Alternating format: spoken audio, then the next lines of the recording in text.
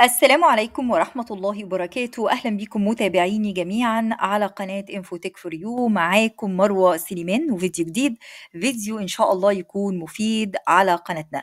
النهاردة جاية أتكلم عن التحديثات الجديدة لنظام تشغيل Windows 11 Windows 11 فيه updates جديدة وال updates دي كلها بتعتمد على الذكاء الاصطناعي.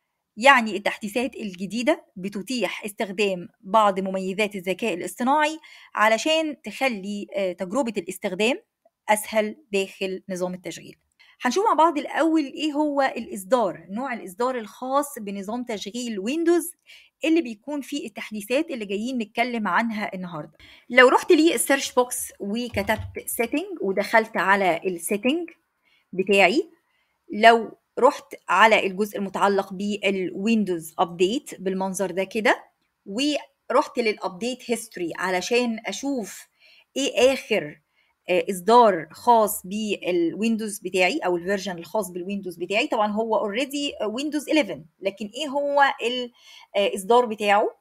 لو رحت دوست على ال history هبص الاقي إن آخر حاجة دلوقتي حاليا installed أو نازلة عندي على الجهاز ودي اللي جاية أكلمكم عنها اللي فيها ال features اللي أنا جاية أتكلم عنها وهي version 23H2 Windows 11 version 23H2 وده اللي هيمكنني إن أنا أشوف ممكن الإصدار ده يعمل لي إيه. ممكن أقول see what's new لو أنت عايز تبص كده على ال tips اللي ممكن يقدمها لك ال Windows من خلال هذا الإصدار تقدر ت explore ال updates دي ممكن تعمل إيه أو إيه الجديد فيها. الجزء المتعلق بال Copilot هنشوفه مع بعض النهارده. ال photo editor ال photo ممكن أعمل إيه على الفوتو من خلال ال photo editor بتاعي. وحاجات تانية كتير آه، حاجة لها علاقة بال live captions دي مميزة جدا في حاجات لها علاقة بال password ولكن أنا جاية النهارده أركز على حاجات مميزة جدا أو مش ممكن تكون مش كلها ولكن أهم الحاجات الموجودة عندي واللي ممكن تخدم ناس كتير. أهم حاجة لازم تكون متأكد علشان اللي هنتكلم عنه النهارده ده يكون موجود عندك إن أنت يكون عندك Windows 11 version 23 H2 في العادي من المفترض إن أنت أول ما هتعمل check for updates هيبتدي يعمل update ل Windows 11 بتاعك لحد ما هيوصل لآخر إصدار. وبعد كده هيطلب منك حاجة اسمها install هتدوس على install وتديله فرصة ينزل كل التحديثات الجديدة عندك على نظام التشغيل. بعد كده هيطلب منك إن أنت تعمل restart أنا already علشان عاملة ال updates دي فما ما قدرتش إن أنا أعمل معاكم الخطوة دي عملي. لكن الموضوع سهل جدا بتروح تعمل check for updates وتبتدي تنزل ال updates بتاعتك تعمل لها install وتعمل restart للجهاز بتاعك. ونبتدي بقى مع بعض نشوف الجديد في التحديثات الجديدة ل Windows 11 للإصدار اللي جايين نتكلم عنه النهاردة. إيه هو الإصدار ده؟ الإصدار دوت هو version 23H2 يلا بينا مع بعض نشوف.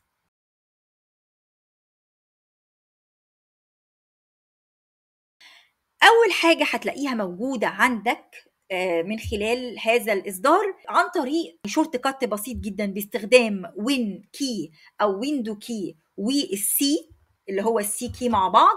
أول ما هتدوس على الاثنين مع بعض هيبتدي يديك كده زي ما إحنا شايفين ده الجزء المتعلق بال Copilot assistant أو المساعد بتاع ال Copilot هنا أنت بتطلب منه أي حاجة وهو يديها لك. طبعا وهي وهو already supported with Bing Chat كل اللي عليك إن أنت تدوس على ال Windows key اللي هو ال key اللي على ال keyboard عليه علامة ال Windows وال C key الاثنين في نفس الوقت هيديك ال Copilot assistant تطلب منه أي حاجة أنت عايزها.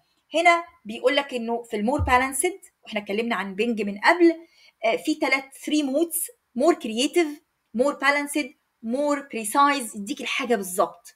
balanced متوازن الحاجة اللي انت عايزها بتكون more creativity وهنا بيقول لك ال Copilot ممكن يعمل إيه؟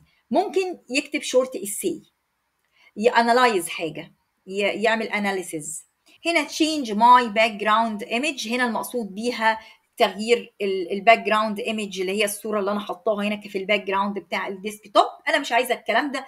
ممكن هنا بمنتهى البساطة أقول له مثلا create an image for sunshine on sea. شاطئ البحر بالمنظر ده. اديني صورة لشروق آه، مثلا الشمس على شاطئ البحر. هنا هيستخدم دال اي اللي موجود في البنج بقى من غير ما أخش على دال اي وأعمل لي الكلام ده. Microsoft Designer علشان يعمل لي ال image بتاعتي. directly مباشرة على المساعد. هنشوف مع بعض دلوقتي. زي ما إحنا شايفين أعطاني صور أربع صور. بايه معمولة ب image creator from Designer معمولة بال Designer يعني لو رحت هنا هيوديني ال Microsoft Designer لو أنا عايزة أعمل customization للصورة عايزة أحطها في template عايزة أعمل لها download عايزة أعمل لها save عايزة أعمل لها share وهنا أعطيني varieties أختار الصورة اللي أنا عايزاها. ال quality بتاعت الصورة جيدة جدا. أنت قلت له create الصورة عمل لك create ليها وممكن كمان تعمل لها customization وإحنا شرحنا الموضوع بتاع جزء متعلق Microsoft Bing ال image creator واتكلمنا عنه من قبل بشرح مستفيض. هبتدي إن أنا أشوف بعد كده إيه تاني موجود. لو أنا رحت هنا كتبت Paint Paint حقيقة عندي في جزء ظهر في التحديث وجزء ما ظهرش وهو أحدث حاجة هو ال layers أو الطبقات. يعني لو أنت عندك صورة مثلا PNG من غير خلفية وعايز تضيف لها خلفية مثلا أنا ممكن أقول file و open بالمنظر ده كده وأبتدي إن أنا أختار صورة PNG دي صورة من غير خلفية هقفل الجزء ده. هنا في حاجة اسمها layers. لو دوست عليها هقدر أضيف layer تانية مثلا عايز ألون مثلا أعمل خلفية لها لون في الحالة دي هقف على الخلفية بالمنظر ده وأبتدي إن أنا أروح مثلا أهو أعمل بس إيه هروح كده أعمل يعني هروح هبتدي إن أنا هروح على الخلفية دي بالمنظر ده كده وأبتدي أروح لل brush مثلا ال Paint الجزء بتاع ال Paint وأديها لون مثلا وليكن اللون ده كده. بالمنظر ده كده. وأظهر الاثنين هطلع بس إيه صورة العربية فوق بالمنظر ده وأبتدي أعمل file و save as وتبقى صورة ليها خلفية. وعلى فكرة أنا كده حولتها ل JPG صورة ليها خلفية. وعلى فكرة المفروض إن يظهر عندي هنا يعني لسه ما ظهرش عندي يبقى في button تاني بيأهلني إن أنا أعمل بالذكاء الاصطناعي خلفيات ولما يظهر إن شاء الله هتكلم عنه في وقت تاني. في برضو من ضمن ال updates الحلوة جدا الجزء المتعلق بال Snipping Tool وهي already موجودة حتى من قبل التحديث ده ولكن كان لازم نتناولها. وهي الجزء المتعلق إن أنا كأني كده ببعت لحد مثلا فيديو بسجل فيه جزء بشرح فيه. يعني أنا مثلا نفترض إن أنا عايزة أشرح حاجة فابتدي أقول new أفتح ال Snipping Tool أبتدي أحدد الجزء ده عايزة أشرح فيه حاجة مثلا هنا وأبتدي إن أنا أعمل الميكروفون أهو الميكروفون بتاعي أبتدي إن أنا أشيل ال mute بتاعه. خالص ما خلوش mute وأعمل start وأبتدي إن أنا أسجل. 3 2 1 السلام عليكم ورحمة الله وبركاته. أهلا بكم متابعيني جميعا على قناة كل يوم موقع جديد. وأبتدي إن أنا أشرح الحاجة اللي أنا عايزة أشرحها في الجزء اللي أنا عملت له selection وبعد كده أدوس كده على الزر بتاع ال record عشان أوقفه. أهو. السلام عليكم ورحمة الله وبركاته أهلا بكم متابعيني جميعا وممكن أروح أعمل edit للفيديو في Clipchamp لو أنا حابة أو أعمل له save وأبعته. ده بالنسبة لي Snipping Tool أداة أخرى مميزة جدا. موجودة عندي في ال setting ما هذه الأداة؟ أروح أفتح ال setting عندي حاجة اسمها live captions وال live captions بيتيح إن ال audio والفيديو يحط عليه captions هل بتدعم اللغة العربية الفيديوهات باللغة العربية؟ لا بتدعم الفيديوهات اللي باللغة الإنجليزية باللغة الإسبانية باللغة اليابانية باللغة الفرنسية البرتغالية لكن للأسف لسه اللغة العربية. فالناس مثلا اللي بتحس إن الشخص اللي بيتكلم مستعجل باللغة الإنجليزية وعايز يقرأ الكلام اللي هو بيقوله في الحالة دي مثلا ممكن إن أنا أفعل خاصية ال live captions وممكن أعمل لها turn on باستخدام ال Windows key ممكن إن أنا أستخدم ال shortcut اللي هو Windows key plus control plus ال إزاي الكلام ده؟ هفترض إن أنا على سبيل المثال أهو هروح أفتح عندي مثلا فيديو أو أروح لليوتيوب على فكرة مش شرط إن أنا بفتح من عندي على الجهاز. وحاسة إن الشخص بيتكلم بسرعة أو أنا مش قادرة أفهم الكلام اللي هو بيقوله بالظبط إيه. عايزة أقرأ يعني أعرف الكلام ده بالإنجلش اللي هو بيقوله يبقى قصادي كده موجود. في الحالة دي هدوس على ال shortcut هبتدي أدوس على ال shortcut بتاعي. ال Windows key control L.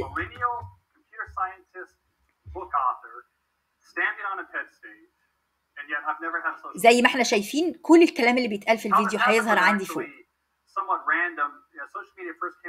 زي ما إحنا شايفين بالمنظر ده. فده هيساعدك ان انت تفهم الشخص بيقول إيه لو هو بيتكلم بسرعة أو انت حابب إن الكلام يكون قدامك ك captions بالمنظر ده أو live captions ولسه هو مش بيدعم اللغة العربية ونتمنى إن هو يدعمه قريبا جدا. دي كانت أهم الحاجات اللي أنا كنت عايزة أتكلم عنها. في بس حاجة أخيرة ودي موجودة في الفوتو. لو أنا رحت كده فتحت أي فوتو عندي. هنا عندي حاجة اسمها edit لو دوست على ال edit image هقدر إن أنا أعمل أستخدم الأدوات اللي قدامي دي أعمل crop للصورة. أقدر إن أنا أروح أعمل edit brightness و exposure و contrast وده كان موجود من قبل. آه، وأهم حاجة اللي جاي أتكلم عنها النهارده والموجودة في ال version الحديث وهو blur إن أنا أعمل blur أهو للخلفية. فبتفيد قوي الناس اللي بتبقى مش عايزة الخلفية تبقى باينة.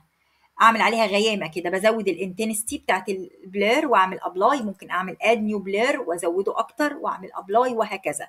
بفضل أعمل blur للخلفية وبيظهر عندي فقط اللي هو focus على العناصر الأساسية هنا ال AI قدر إن هو ي detect إن القطة والولد هما الصغير هما العناصر الأساسية. وبعد كده بعمل save للصورة بتاعتي. دي من الحاجات المميزة جدا واللي عجباني قوي موضوع ال blur وده كان موجود في Canva كنت اتكلمت عنه من قبل وبعض البرامج التانية اللي بتقدم لي الحل ده ولكن أصبح موجود بشكل مجاني في Windows 11 في ال version الجديد اللي إحنا اتكلمنا عنه النهارده. دي الحاجات المهمة اللي كنت حابة أكلمها. اتكلمت عن ال Snipping Tool اتكلمت على ال blur في الفوتو اتكلمت عن الجزء أيضا المتعلق بال live captions ودي مهمة جدا جدا. قلنا ال layers الموجودة في ال Paint وأيضا ال Copilot assistant المساعد اللي بيخليني اكتب essay أو أقدر إن أنا أعمل صورة بسرعة. كل ده بي access على الأدوات ال- بتاعت ال AI اللي موجودة آه، أو متعلقة بمايكروسوفت زي ما إحنا شايفين وبيساعدني إن هو يديني نتائج أسهل وبشكل سريع وأفضل. آه، زي ما قلت لكم دي بالنسبة لي أهم ال updates أشوفكم في فيديو قادم بإذن الله تعالى وأتمنى إن يكون الفيديو بتاع النهارده عجبكم. زي ما أقول لكم في نهاية كل فيديو ما تنسوش تعملوا subscribe للقناة وتفعلوا الجرس لو كنتوا بتشوفونا لأول مرة وتبصوا نظرة سريعة على القناة إن شاء الله تستفيدوا بالمحتوى اللي موجود فيها. ولو كنت من متابعيني الأعزاء ما تنساش ال like وال share وال comment. دمتم في رعاية الله والسلام عليكم ورحمة الله وبركاته.